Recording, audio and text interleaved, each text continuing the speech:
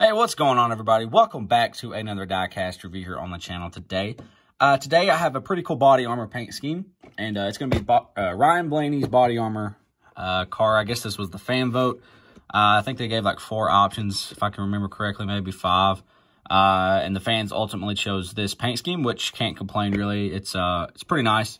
but we're going to go ahead and take a look at the box art first. You got the BodyArmor uh, I forgot what flavor this is. I guess it's just uh, just the style. I don't really know if it's a flavor, but uh, I like the design on it, really. Uh, you got the 12 up there on the top left, and then NASCAR Authentics on the top right. Uh, you got a magnet right here uh, with Ryan Blaney on it. I like the magnets better than the hoods, as if you've watched my previous videos, I've explained why. then you got the die cast right there. Onto the back, you got Olive Wave 9 from 2020. This was the final wave of 2020, so uh, glad I got all the pieces in this set, uh, except for the DoorDash chase piece. Um, looking forward to the All-Star wave that's co just come out. Uh, hopefully I can find those at some point. But, uh, yeah, let's go ahead and, uh, I'm going to go ahead and open up this diecast and, uh, we'll take a look at it. All right, so starting off with the nose, you got a pinkish, peachish looking, uh, um, I don't really know how to explain it. It's like a light red around the nose. Uh, this paint scheme has a lot of different colors, which is kind of cool. Uh, you got three of the same BodyArmors right there. I guess that's uh, strawberry. Uh, I forgot what it's called. I, it might be strawberry mango. I can't remember. They have so many different flavors that it's kind of, uh, kind of, uh, my mind's went blank. So you got a different style of riding for BodyArmor there on the hood. So that's kind of cool.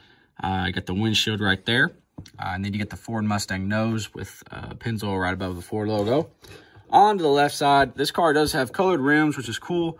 Uh, they are like a mango type yellow. Uh, we got some pink lines, some red, some black, pretty much all different shades uh, that you, of tropical that you could think um, going down the side. And then you got a nice, I think the outline around the 12 really uh, makes the number pop. So that's a nice feature uh, for this paint scheme. Got a, it, it, really matches up with what I would think um, a BodyArmor car would look like, um, you know, especially matching a flavor. Uh, you got all the uh, Penske sponsors right there on the on the rail. Uh, Advanced Auto Parts, Dex Imaging. Got a pretty nice American Ethanol uh, logo back there. Got BodyArmor there above the tire. And um, yeah, that's about it. You got a winter sticker up there from Talladega. another nice little feature uh, to these later paint schemes.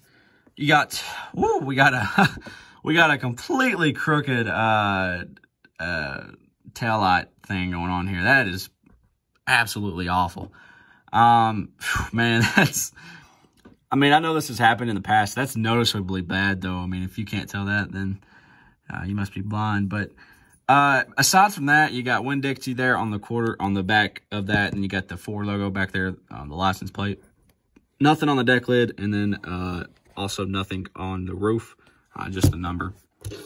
On to the right side, uh, you got BodyArmor, a little bit of a tiny chip right there on the A, nothing too major. Uh, everything else on this car seems to be pretty legit besides the back taillights, which are butchered, but um, still nothing really, I mean, aside from that, nothing really to complain about. Um, the Ryan Blaney looks kind of in the in a weird spot. Uh, this side, it's above the window. I guess it's in the right spot. Now I'm just, I'm looking for stuff to be, stuff to pick apart. Uh, but all in all, not a horrible paint scheme. We've definitely seen worse this year. Uh, if you haven't seen my Alex Bowman video, go check that one out because it was pretty rough. Uh, but yeah, I think that's going to do it for this video. Follow me on Instagram if you haven't already at NASCAR underscore diecast. Uh, like and subscribe if you want to see more. Thank you all for watching. Y'all have a great day, and I'll see you all in the next one.